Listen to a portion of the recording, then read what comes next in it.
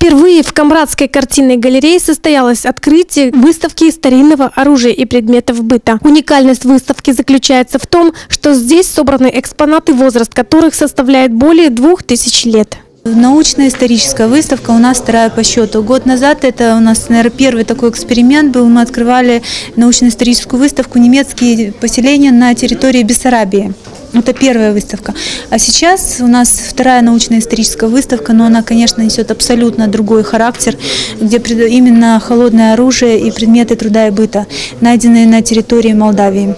За много веков до нашей эры не было особых граней между предметом быта и оружия. В варварские времена, когда одно племя нападало на другое, топор, шило, мотыга и даже коса становились хорошим оружием самозащиты. И что интересно, некоторые экспонаты были найдены на территории Гагаузии.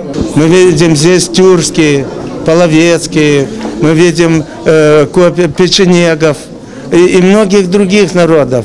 Здесь, в конце концов, и молдавское оружие. И это все не только на территории севера-центра. Это у вас в Гагаузии многое найдено.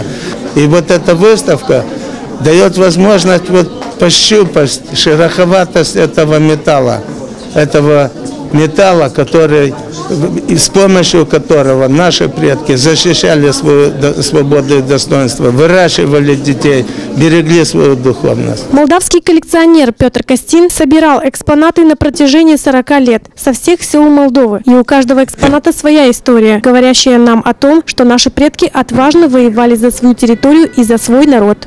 раскопка есть одно, а здесь есть коллекция, которая она собрана, собрана э, разных, в разное время и не за один десяток лет.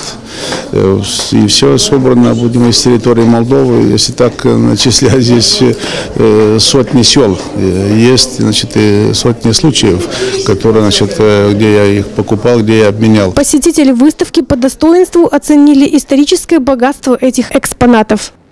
На втором курсе юридического, в принципе, у меня специальность историк. И находясь здесь сегодня, я просто нахожусь в огромном восторге. Мне очень приятно видеть это все. И, знаете, Самое огромное удовольствие заключается в том, что здесь э, это все появилось все-таки у нас. Этого не было. И видеть это все, это просто воодушевление. Выставка старинного оружия в Камрадской картинной галерее, которая уже становится культурным центром, продлится до конца этого года. И все желающие могут посетить выставку абсолютно бесплатно.